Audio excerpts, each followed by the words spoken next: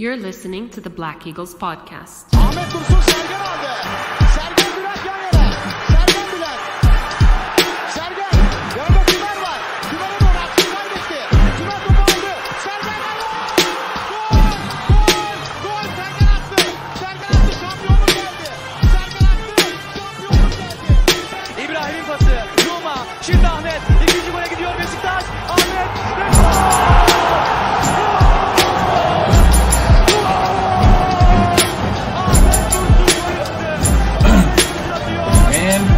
Welcome back, everybody. This is episode 225 of the Black Eagles podcast. And of course, I am your host, Sinan Schwarting, live from a wow, quite rainy, like almost like monsoon like New York City. They say April April showers bring May flowers, right? As usual, my weather metaphor extends all the way into the Besiktas realm. Rain being a pretty good metaphor for what we just experienced. Um, let's let's talk about it a little. I guess first of all, as far as the news goes, there's not a ton of it. Um, I, there's talk of like Koray Gunter, right, uh, Turkish central defender, perhaps we have our eye on. Beyond that, still lots of Sorloth talk. You know, rumors of Aboubakar and uh, Talisca now. You know, Fener looking at them. Talisca rumored to have said he's happy where he is at Al Nassr. If they both go to Fener, of course, the old Al Nassr Fenerbahce conspiracy theory will come alive again. But we don't need to go there right now. We're, we're content with where we are. We have a new coach who's done well so far. We're, we're looking forward to this offseason of, of making the right moves, smart moves. We don't they don't need to be splashy. But so with that said, let's talk about here and now. Let's talk about our match against Giresun. Operation is in effect as of right now. Yes, Giresun. Um, so I guess first of all, I I thought it was actually quite interesting, and I took note of this. It was the night before our match, and I didn't I didn't post it anywhere because I didn't want to you know uh, to be blamed for jinxing us or anything of that sort.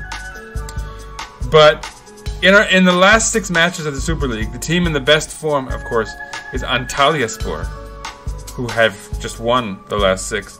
Then Fener, who we all know are on a hot streak. Then in third place was Giresunspor, who had won four, drawn once, and won once. So, you know, that felt like it was definitely worth paying heed to, right? Uh, and let's talk about some of those results. So uh, they beat Göztepe three to one. They beat Rize in a sort of relegation scrum, one to two on the road. They beat Gaziantep at home, two to one. They lost to the indomitable Antalyaspor, right? Tough team to play against these days, four to one. So they lost on the road there. And then they drew Sivas at home, two to two. Sivas, you know, they can always pose a threat. They're having a bit of an off year, honestly, but even still, they've they've caused trouble for a lot of sides. And then they're fresh off of a victory on the road against Malatya. Malatya basically guaranteed to go down now. And I think that played a part in it. But so, like I said, quite good form coming into this match. So that would be ominous. Besiktas in fifth place in that in that table, actually having two wins, three draws, and a loss in the last six. So not terrible stuff, right? That's what you could counter anything, any negative thoughts with. It's worth noting that our only competitive match against Giresun in recent history was a loss to Giresun, and I talked about it in our last episode. We lost nil to four at Vodafone Park, so kind of crazy stuff. Definitely caught us all off guard. It was at the height of the uh, collapse of the Sergen Yalçın regime, so I guess it shouldn't be particularly surprising, perhaps. So let's talk about this sucker. Right? The lineups, first of all, for us, Ederson in the goal, Montero, Vida, and Necip on the back line. Of course, uh, I think Wellington uh, was carded out of the last match, right, with the red, so he's suspended. On the wings, the wing backs, Ridvan and Valentin Rosier, and in the middle, Can Bozdogan and Josef de Souza, with Rachid Ghezzal and Alex Teixeira on the flanks, with Michy Batshuayi in the middle. No real surprises. Uh, perhaps not even Necip playing instead of Serdar Saatçı, just given his experience and all that, right? So where does that leave us? I guess it leaves us with Giresun's lineup, right? So they have Okan Kocuk, 26-year-old keeper, name many might recognize. On their back line, Sergen Piçinciol, 26-year-old Turk, next to Alexis Perez, a 28-year-old Colombian.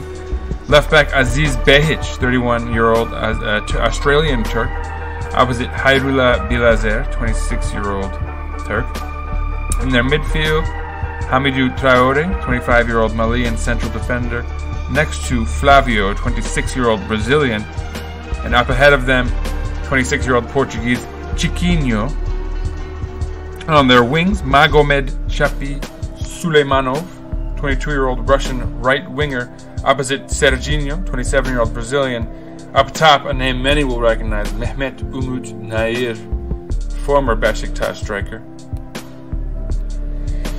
Yeah, so that's that's it, right? Um, I don't know, like not a particularly formidable side. Lots of interesting names we wouldn't recognize, although again, right, like not over the hill guys, like 25, 26 year olds. They've done some scouting, you know, some.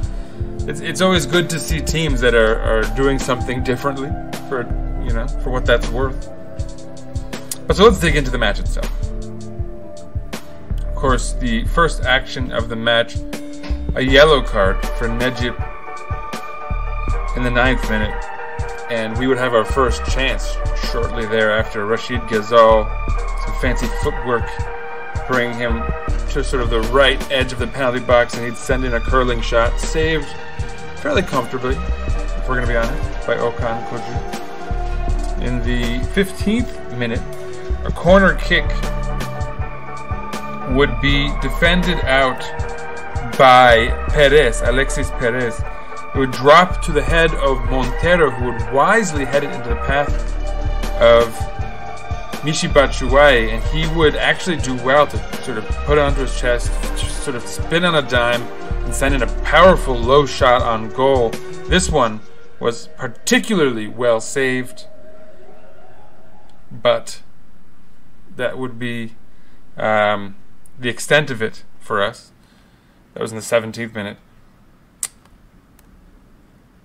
In the 15th minute, actually, he'd actually just saved a shot of theirs off of the line as well on a corner. So Montero had a nice little stretch there in the first like 15 minutes, at least as far as the, these chances go. Big highlight plays. Uh, Sergen Piçinciol for them would get a yellow card after the, the chance that we had that Michy Batshuayi had saved. And it was actually a really good chance. It wasn't offside. Would have held up. I mean, would have been a fantastic goal. And so, yeah, a big chance saved, I guess you could say, right, by uh, Okan Kocuk. And then for there, from there would be a stretch of quiet, you know, half chances, not much going on, honestly, back and forth. Besiktas having the, a really long run of possession, but not really looking comfortable with it. And I think, in a way, our team isn't built to hold the ball that much with only two midfielders in the center, for example, right? But, um, you know, that's like plan A, and we didn't revert to a plan B for this one. And I think, on the one hand, you can say, oh, you know, the coach is stubborn, and this is what he came under fire for with West Brom a little bit, was being a little stubborn with his plan A. On the other hand, you could also argue this is his third match, uh, and he wants to sort of hammer home that plan A and get the guys comfortable playing in it first and foremost. So, you know, there are arguments to be had on either side of that, I suppose. But anyway, in the 43rd minute, um, a long shot from distance by Rachid Ghezzal. I think it was credited as being saved by Okan Kocuk in the end. Um, it looked like it grazed the top of the bar a little too. Kind of, both of those chances kind of flew under the radar for me personally. For beIN USA, they had no announcer, which was weird. But so the result of that was like no no one screaming to let you know that a big chance was incoming or whatever it was. So yeah, um, two chances. One of them sort of conjured out of nothing by Rachid Ghezzal. The other one, I mean, also like well played by Batshuayi. But on the other hand, you maybe hope he would have done better given the lack of chances for the most part and how how good that one looked in retrospect.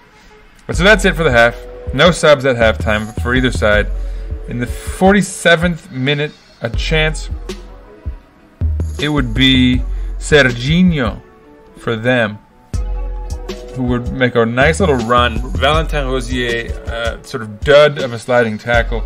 He was off for some of this. He had some flashes of promise as well. So, you know, I think he did some things well, especially statistically. He might even be well rated for it because of his like you know, generally accurate passing, stuff like that. But then he was also a little sloppy with his dribbling and stuff that maybe wouldn't translate statistically. So I mean, we'll see see how that measures up in the end. But anyway, a poor tackle from him. He misses, and uh, this dude keeps making a run. Sends in a pretty nice sort of like Panenka, you know, using outside of his foot sort of cross in that is cleared and cleared relatively poorly. To, I don't remember to whom, and if there's a shot on target, Ersin does quite well to save. And yeah, we're, we're still at nil nil, and this isn't looking great. In the 50th minute, they have another chance. Ersin um, passing the ball to Vida out of the back. Domagoj Vida with a really sloppy pass back. This um Shapiro, Shapi Suleimanov guy, guy gets onto the other side of it, sends in a pretty nice chance, a nice shot, but it's it's too easy for Ersin to, to get onto the other end of. And again, still nil nil, 50th minute, and they are the ones kind of pushing, although not really. Only one real decent chance out of that bunch there. But so accurately here, we at the right time we get a sub. 55th minute, two subs in fact, and Kudu on for Alex Teixeira and Miralem Pjanic on for Can Bozdogan. And honestly, I think these are exactly the right subs. You know, if you're keeping this tactic, you might again think might be time to revert to a plan B. But again, if you're arguing that he's trying to hammer home plan A first before you start playing with it, okay, fair enough. In that regard, I think these are the right subs. I think you could say Atiba might have a place over Pjanic, but on the other hand, Pjanic offers more with that like final pass. You know, um, Art and craft. given our struggle to sort of connect the midfield to attack, we all know his ability to, to create something out of nothing on a dime. So that's the logic there. And of course, Nkoudou as well. You know, a little pace, a little speed may, might take advantage of one of those passes. So good subs as far as I'm, as far as I'm concerned. 64th minute, Ibrahima Balde comes on for Umut Nayir. 77th minute, Umut Meraş for Ridvan and Güven Yalçın for Michy Batshuayi. And that, you know, that's that's where I'm maybe not on board. I, I get perhaps Umut Meraş, Ridvan. Generally, everyone was a little clumsy and stumbling around and looked like they were playing slow mo a lot, and they were dribbling into groups and kind of hoping for lucky bounces. You know, not good, technically proficient football by any stretch. Um, so fine, you know, if you want to put in Umut Meraş for a little energy along the flank, uh, that's okay. But I don't think ba- Batshuayi needs to come out of this one. Um, they've pressed hard all match, and I think at this point they're starting to tire, and you feel like Besiktas could break through. So you really want that guy who kind of individually can make that happen out there, right? So taking him off, questionable as far as I'm concerned. Sorry if you're my cat skittering around on the floor, fooling around with something. Um, 77th minute, Mohamed Gümüşkaya comes on for Serginho, who had created a bit of a problem for us earlier. Zeki Yavru on for Magomed Shapi Suleimanov in the 89th minute. Man had also created a few little problems for us. an extra minute, an extra like the only real highlight that, like left here was in extra time at the very end of extra time, 93rd minute. Josef de Souza sends on Nkoudou quite well. Nkoudou runs onto it, sends in a pretty decent cross actually, all things considered. He kind of gets behind the back line, loops it in, and it drops to Güven perfectly. And I don't know what he's thinking. He like falls back. Perhaps he thinks he's close enough to the ball where he can do this and kind of still flick the ball forward. You know, maybe fake out the, the keeper thinking he's falling and then still get the. You know, whatever his logic is, it doesn't come off at all. He doesn't get the shot off. I don't know if he's flopping, like looking for a penalty, but you know, whatever it is, it's an L. And yeah, nil nil. One of the most boring matches of the season, no doubt. I mean, on the one hand, where the question was answered as far as can Besiktas play this way and dominate possession, they did. 69% of the ball to Giresun's 31%. 14 shots to their 9, 4 on target to their 3. However, so you know, shots from distance, shots that weren't particularly effective. I don't think anyone came away from this feeling like we really like overwhelmingly deserved 3 points. All in all, I think the best chance in this match is the Batshuayi turn and shot on goal, which is that's also the best save of the match for sure by Okan Kocuk but they maybe had more better chances, right? That little stretch at the beginning of the second half created two really decent chances for them. Could have gone either way. So yeah, I mean, at the end of the day, I mean, really, it's like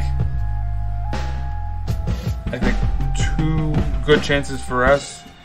If you count that shot from Rachid Ghezzal from distance, maybe three.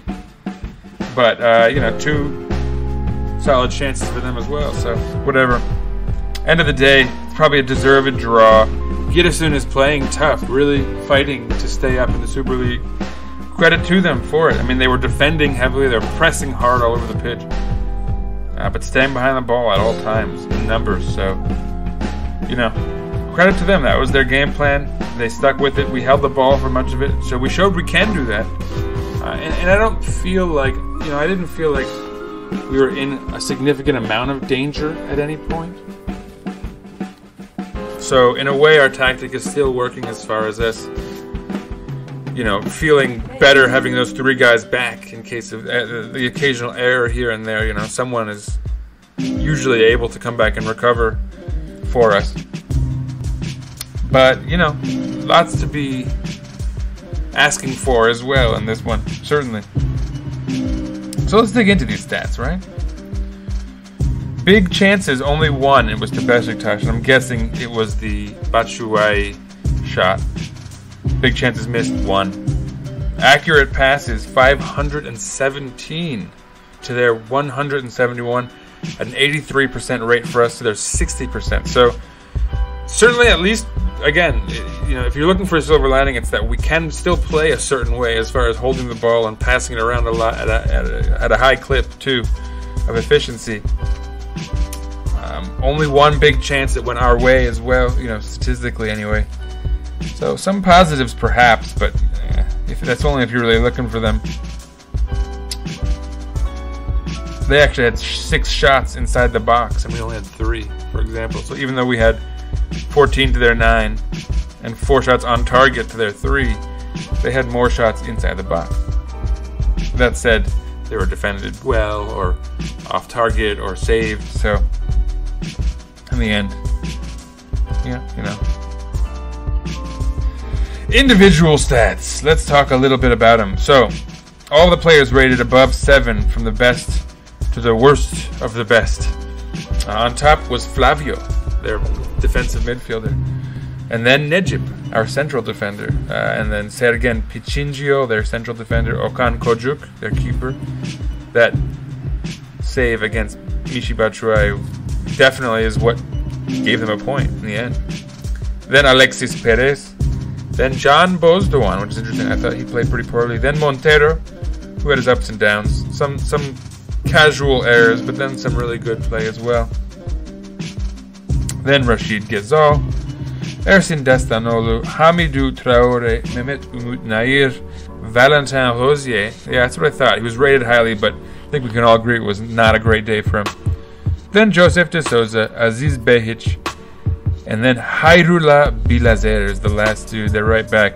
Pjanic, not quite, didn't quite make the cut at 6.94.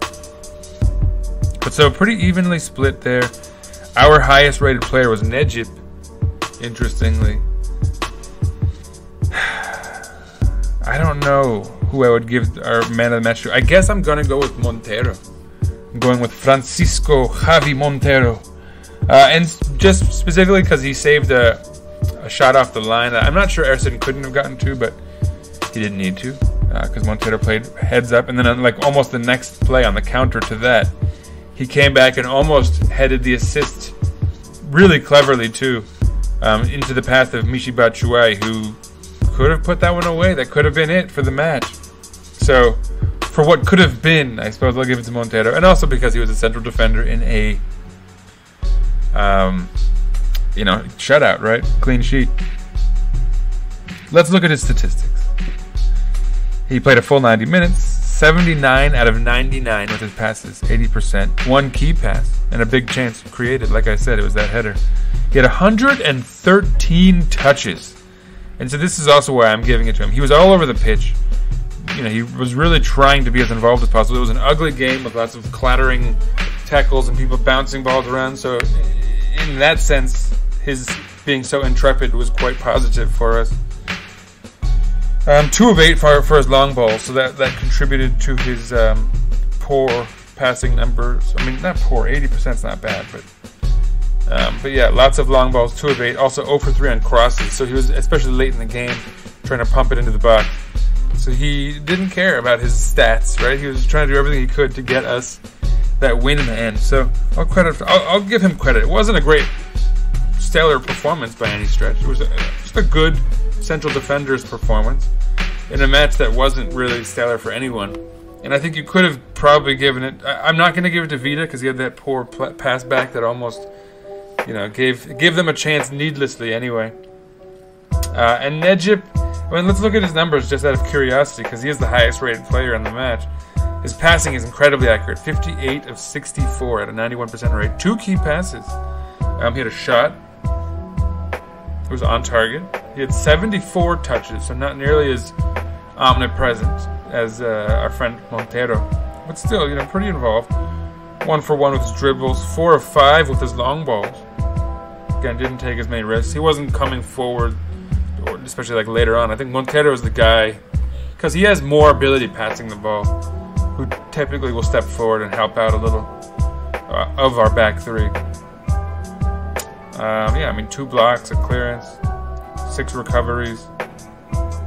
You know, good numbers for, for both these guys. Montero had eight recoveries, by the way, two clearances. Yeah, I mean, I don't know. All around, just a kind of meh performance. Not much to really get excited about in any regard. The stats underlie that, right? Lots of defenders and defensive midfielders among and keepers in that you know, top 10 or what have you, top 15. But so that's all we got for this match. I'm trying to keep it brief here because there's not a whole lot to say about it. The results are not fantastic for us, obviously, only getting a point out of this. All of our rivals seem to drop points. Alanya lost to Antalya 1 to 3. Adana Demir lost to Kais- Ka- uh, Kasim Pasha 4 to 0. Başakşehir drew Altay 1 to 1. Konya with a victory, but we can kind of root for that. We're hoping maybe they'll pass Trabzon it's a miracle collapse. Fener also won. So, I mean, basically, second and third are all 10 points back. Fourth place is still only three points away, even despite us getting only the draw. Um, so let's run through it. So Trabzon is in first, of course, with 73 points. They drew again, so they could choke. If they if they only manage a couple more draws and, and, and lose a few, they, they really might. I mean, Fener is hot at this point. And Konya had a big win, four to one, against Gaziantep. Uh, but so yeah, in fourth place, which is what we're kind of going for at this point, is Başakşehir here with 54 points. Then Adana Demirspor and Alanyaspor with 52 points, and then us in seventh place with 51 points. And now with Antalyaspor, who's hot, hot on our heels as well with 50 points. Hatay with 49, Fatih Karagümrük with 47. So not quite within reach there, but Hatay and Antalya are both within reach from behind now. Galatasaray, for anyone who's curious, is down still in 12th place with 44 points. And so they're seven points behind us at this point. Uh, only five matches to go, which is important. Our next match is against Kasim Pasha, 1.30 p.m. on a Monday. April 25th is coming Monday. After that, we have Kayseri on the road. Then we're hosting Fener, who is quite hot. And then we're back in Izmir playing Göztepe and then hosting Konya to wrap things up. Konya could be playing for the title. No, I'm kidding. I, I, I really, I really seriously doubt it. But anyway, lots going on. Very exciting times. Uh, and suboptimal performances in the end. Not quite what we hoped for. If we had two more points and we ended this week with 53, we would be up in fifth place now, which would have been a pretty big jump from eighth last week instead of just seventh. Um, we'd be one point behind Başakşehir, here, right? With with these matches left to play. Unfortunately, we're not playing Başakşehir because that would guarantee we could kind of close that gap in one go. But they are playing Hatay next week. They're hosting them. Başakşehir has Hatay. Then they're playing Kasim Pasha on the road. Kasim Pasha with a nice performance this week, 4 0 victory against Adana Demir. Then they're playing Galatasaray, Giresun, and Trabzon. So nothing easy for Başakşehir. They should be very catchable. Adana Demir, we're also still ahead of us, they have Trabzon this coming week. Then Giresun, right, still tough. Alanya, Galatasaray, and Göztepe, very, very catchable. Alanya Spor still ahead of us. They have Sivas in the cup, then Sivas in the league. Tough, right? They had a good performance this week. Uh, then you've got Yeni Malatya, which that's kind of easy points for Alanya. But then Adana Demir, one of them has to lose, or if they draw, that could be good. Then they're playing in the cup again, and then they have Gaziantep, which, uh, and then Fatih Karagümrük. I mean, Alanya has the easiest schedule of all of us, but I mean, it's Alanya, right? They can drop points regardless. And, and, again, they're only one point ahead of us. So they only have to drop points once. We got to win out, is what, is what I'm saying here, uh, which won't be easy. Um, Kasim Pasha next. They've been tough lately. Then Kayseri. That should be possible. But then, of course, Fener will never be easy. Göztepe, whatever. Konya at home, I'm not particularly scared of them. But again, right, if they, if they on some weird, crazy off chance still something to play for, that could be scary. At the very least, they could be fighting for second against Fener. So, especially if we beat Fener. Knock on wood. But anyway, that's all I got for you this week, folks. Um, stay tuned. I'll be back next week. Um, I'm going to be watching a match this coming week, perhaps with one of our listeners out there, actually, who happens to be in New York. Um, shouts to you, Amir. But um, yeah, folks, I will uh, be back after that match as per usual. Until then, follow us on Twitter, first of all, at Eagles underscore podcast. Follow us on Instagram, Black Eagles Podcast, one word. Follow myself at Sir underscore writes underscore a lot. And as always, let's go Besiktas! Peace out, everybody. Still plenty to play for. We got to get that Conference League spot. uh, and worth noting that fifth place spot should come to us. Should to win the league and cup. Still got to try for everything we can to get as many points as possible. Peace out, everybody.